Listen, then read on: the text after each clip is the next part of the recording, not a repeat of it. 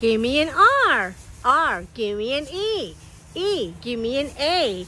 A. Give me a D. D. What does that spell? Read. Assalamu alaikum. Welcome back to Storytime with Mrs. Baig. How are you all today? Let's move on to another selected stories for my traveling story time with Mrs. Baig. And our story is a chapter story and it's called Charlie and Mouse by Laurel Snyder, illustrated by Emily Hughes. So let's begin.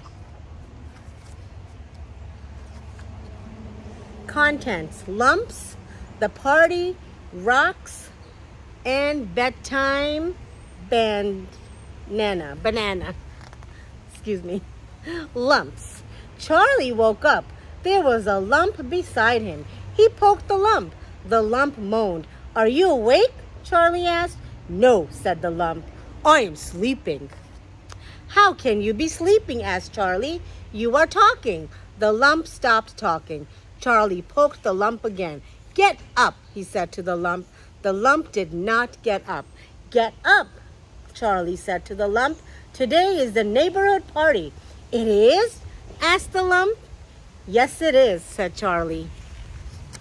The lump turned into Mouse. Mouse ran down the hall. Mom, said Mouse. Dad. He opened a door. He found two lumps. Mouse poked one of the lumps. Are you awake? No, said the lump. We are sleeping. How can you be sleeping? asked Mouse. You are talking. I am Mom, said the lump. I can do what I want. The party. Hurrah! Today is the party, shouted Charlie. Today is the neighborhood party, shouted Mouse. Everyone will be there, shouted Charlie. They danced around the kitchen. Where is the party going to be? asked Dad. It is at the playground, said Charlie. When is it going to be? asked Mom. Now, said Charlie. Sounds fun, said Dad. I'll bring cookies. The four of them set out. They pulled Blanket into the wagon. They brought cookies. Halfway down the street, Charlie and Mouse saw Helen, Lily, and Sam. Helen and Lily were climbing a tree. Sam was watching. Where are you going? asked Lily. Today is the neighborhood party, shouted Mouse. Come on. Helen and Lily and Sam followed the wagon. A few houses down, Charlie and Mouse saw Jack and Max. Jack and Max were digging a hole. Where are you going? asked Jack. Today is the neighborhood party, shouted Charlie. Come on! Jack and Max followed Helen and Lily and Sam, who followed the wagon. When they turned onto Woodland Avenue, Charlie and Mouse saw Tess and Lottie. Tess and Lottie were playing on the porch. Where are you going? asked Tess. Today is the neighborhood party, shouted everyone. Come on! Tess and Lottie followed Jack and Max, who followed Helen and Lily and Sam, who followed the wagon. Charlie and Mouse passed Spencer's house. They passed Marley's house. They passed Nora Ann's house. Baby Sylvia rode in the dragon with Blanket. Soon they could all see the playground. Hurrah! shouted Charlie. Soon we will be at the party. They got to the playground. The playground was empty. Nobody was there. It was the best party ever. Rocks. I wish I had some money, said Charlie. Yes, said Mouse. I wish I had some money too. How can we get some money? asked Charlie. That is a good question, asked Mouse, said Mouse. Let me think. Mouse thought, I know, said Mouse. We will sell something.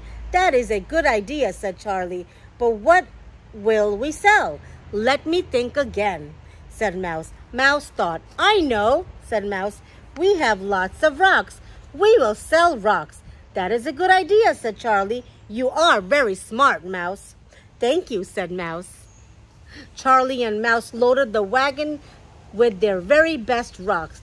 They pulled the wagon down the street. They pulled it to Mr. Eric and Mr. Michael's house. They knocked on the door. Do you need any rocks today? asked Mouse. No, said Mr. Eric. We have too many rocks already. But if you will take ours away, I will give you a dollar. Okay, said Charlie. Okay, said Mouse. Charlie and Mouse took away Mr. Eric's rocks. Charlie and Mouse pulled their wagon to Miss Margaret's house. They knocked on her door. Do you need any rocks today? asked Charlie. Heavens, no, said Miss Margaret. My garden is full of them, but if you will dig them up, I will pay you a dollar. Charlie and Mouse dug up Miss Margaret's rocks. They tried to pull the wagon home. It was very hard. Charlie and Mouse stopped to rest. They were very hard. They were very tired. Probably we need a snack, said Charlie, to sustain us. Good thinking, said Mouse. I wish I had some money, said Charlie. Bedtime banana. Charlie and Mouse were in their pajamas. They brushed their teeth. Now it is time for bed, said Mom. Not without a story, said Charlie. No, said Mom, of course not. Not without a bedtime story. She read Charlie and Mouse a bedtime story. Now it is time for bed, said Mom.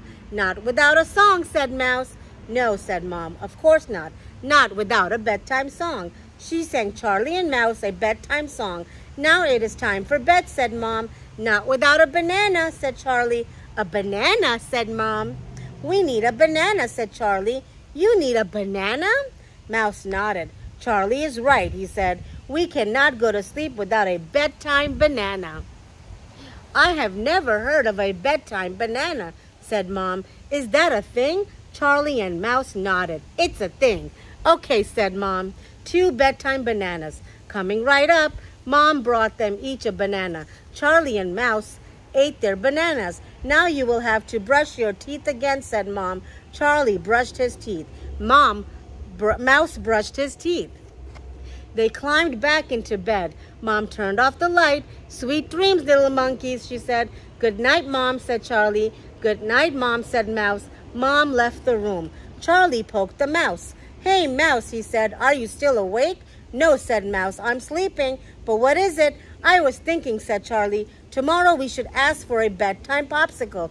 Good idea, said Mouse. Yes, said Charlie, it is. Charlie thought about popsicles. He started to feel sleepy.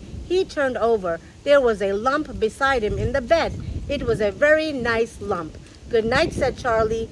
He patted the lump. I'm sleeping, said the lump. I can't hear you. The end. What a delightful story about Charlie and Mouse. I hope you enjoyed this selection. Until next time, see you soon. Bye now.